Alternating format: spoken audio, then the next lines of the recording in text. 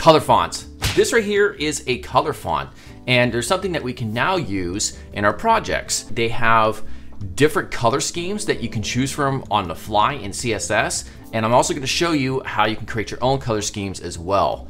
All right, so something to note, you, these are available here on Google Fonts, fonts.google.com. We're gonna use this one down here. Um, and also browser support. Here's uh, caniuse.com. I basically Firefox is out of the question at the moment. Uh, so you would just have to have a different font fallback essentially for that to work. So I'm going to show you exactly how to get this integrated into a project, how to customize them. So make sure to subscribe if you haven't yet, and let's get started.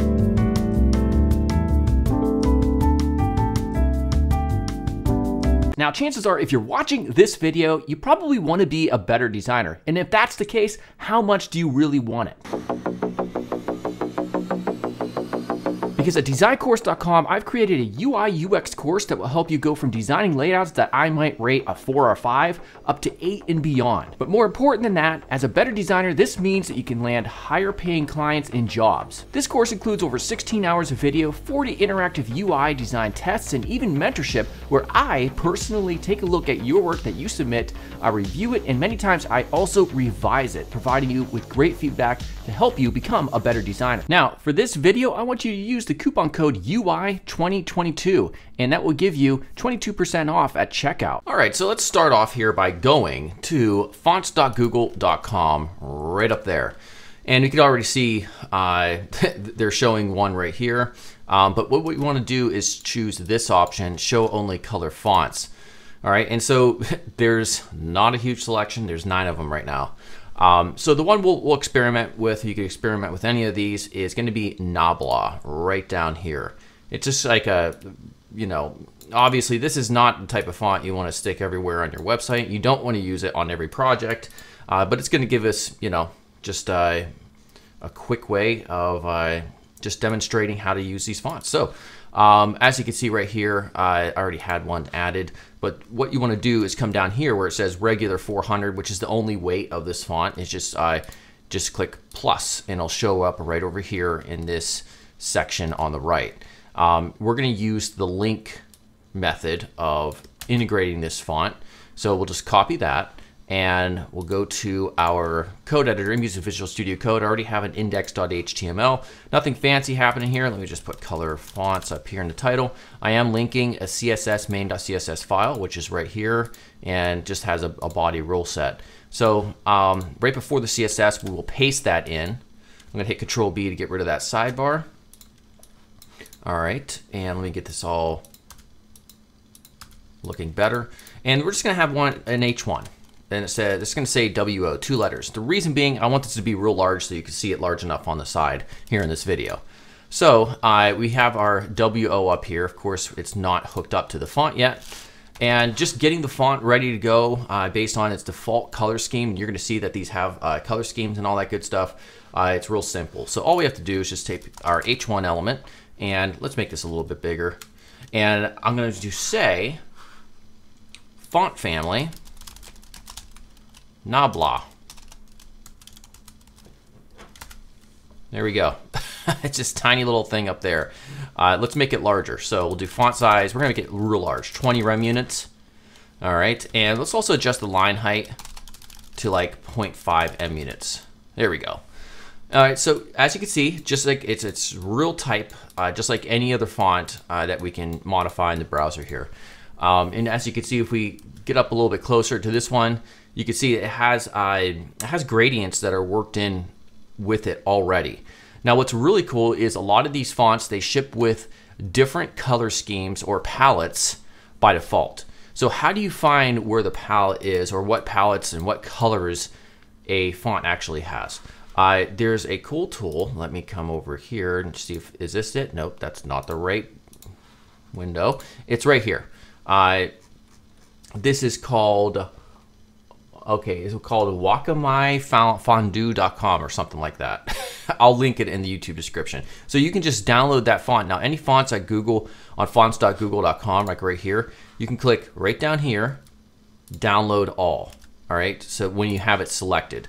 So when you do that, We'll open it up and you'll see this TTF file right here. Drag that to your desktop and you can just drag that on top of this fondue tool. So I already did that. Let's drop it here. It says it's working. And it's going to give you information about this font. Now, if you come down, if you click on color up here, it's going to tell you all of the palettes that it has. So by default, this is the one that starts off with right here. Um, but we can also choose um, any of these down here and we could use them as a starting point to create our own custom color schemes with this font. So I'll show you how to do that. Let's go back. All right, so here's how this works essentially. It's a little bit of a setup, but not too bad.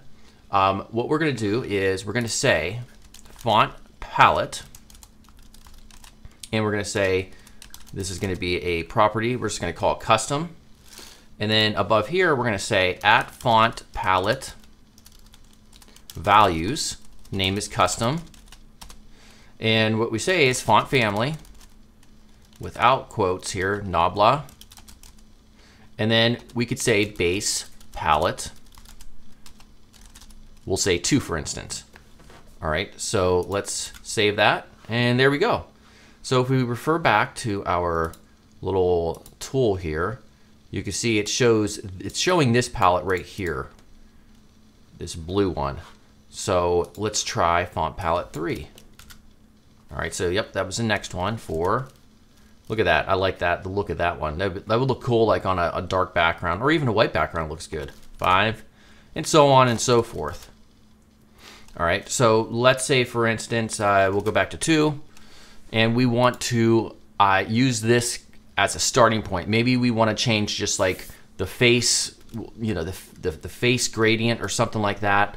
Uh, here's how you do it. So essentially, you type in override colors, and then we can tab in afterwards, and we designate. We it, it takes two values. First is the a numeric value, meaning the color. Like this would be color one, and then space, and then you could put in like an RGB function. You could put in a hex value for the color. You could put in just like red or something, or teal, for instance. And what happens there? You can see right down there, number one, the first color will affect this area, this area, and this area. So you, it's kind of a matter of uh, experimenting. So if we change this to number two, it looks like it changed nothing. Number three, okay, so that's the upper area. Um, let's leave this back to one. Now, of course, we can specify multiple by putting a comma afterwards. I will say number two is going to be red, for instance. What happens there? All right, nothing seemed to happen there. So let's change this to three. All right, there we go. So that's how we get the sides.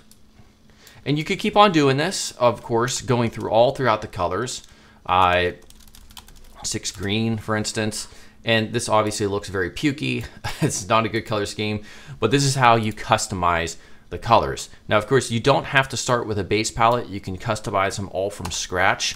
I, and it's going to it's going to default back to the original uh, or the default color scheme when you don't specify the base palette property. And that's essentially it. I, I think it's going to. This is obviously very early. There's only nine fonts, but I I think we're going to be able to see uh, a lot more in the future and I think it'll look really cool, um, obviously, if it's integrated and used properly in the proper context.